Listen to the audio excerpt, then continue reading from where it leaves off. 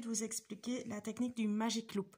Alors, euh, je fais ça avec des petites aiguilles cette fois-ci, pas aussi grandes que celles que j'ai l'habitude d'utiliser, simplement parce que je ne suis pas une fan des aiguilles circulaires et donc je n'ai pas beaucoup de paires chez moi d'aiguilles circulaires, ce qui fait que je suis un peu obligée de, prendre, de faire avec ce que j'ai et je n'ai que des toutes petites, des trois et demi. Donc, j'espère que vous verrez quand même. Bon, l'important étant de surtout savoir voir comment je manie l'aiguille plus que comment je manie le fil. Donc, c'est pas grave que j'utilise un petit fil. Alors, pour cette technique-là, c'est une technique qui va vous permettre de tricoter en rond, en particulier quand vous avez des petites euh, quantités de mailles. Parce qu'évidemment, si vous avez 300, euh, 400 mailles, elles passent peut-être entièrement sur votre fil et vous n'aurez peut-être pas besoin de cette technique.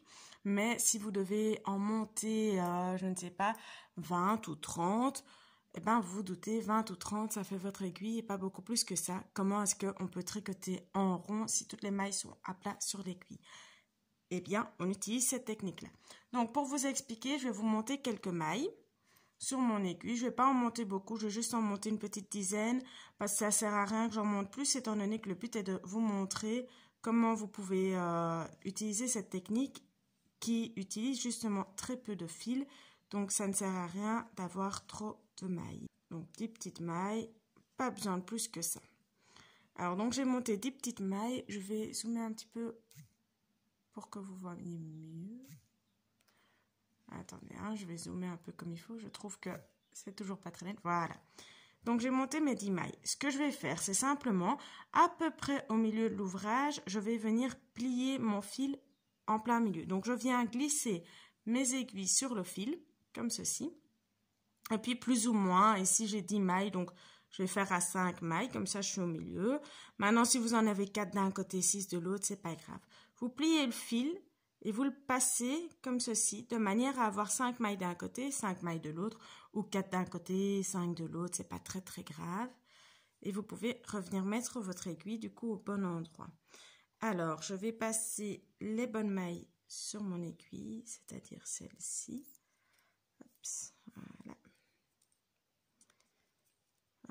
Alors, vous devez bien faire attention à ce que vos mailles, à ce que vos mailles restent comme il faut sur votre aiguille, sinon votre, euh, votre ouvrage va euh, vriller. Donc, faites attention à bien les laisser dans le bon sens, euh, c'est-à-dire que vous ne tournez pas ici 50 fois vos mailles et que vous ne faites pas un nœud du coup dedans. Une fois que vous en êtes là, alors les 5 mailles que vous ne tricotez pas peuvent rester sur votre, sur votre fil.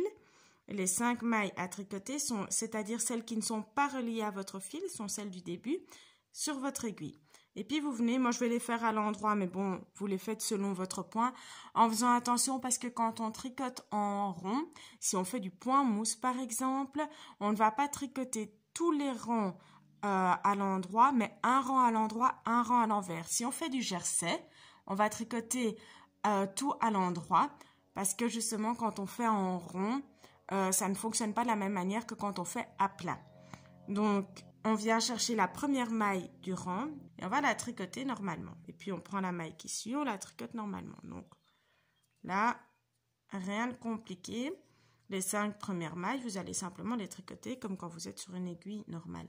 Faites attention que tricoter en rond comme ça, ça peut créer des petits trous à la jonction, donc ici au début. Donc il faut peut-être serrer un tout petit peu plus à cet endroit-là. Donc j'arrive à la fin, qu'est-ce que je fais maintenant?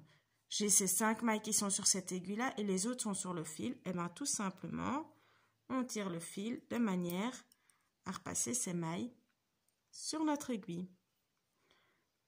on tire les mailles jusqu'à l'aiguille. Voilà.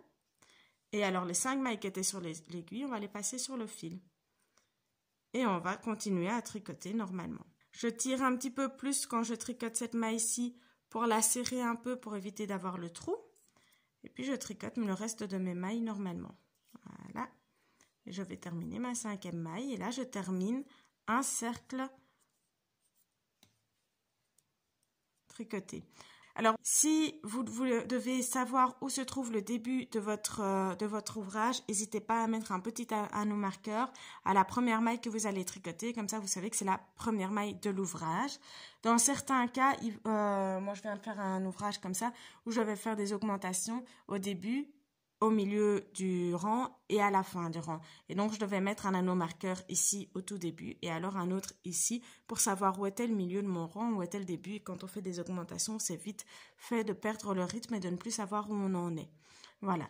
Euh, donc, la technique très simple, rien de bien compliqué, juste besoin d'apprendre à l'avoir en main. Évidemment, quand vous avez fini votre rang, vous refaites de nouveau, vous venez passer les mailles sur votre aiguille les mailles qui étaient sur l'aiguille précédente, on les passe sur le fil et puis on continue à tricoter normalement.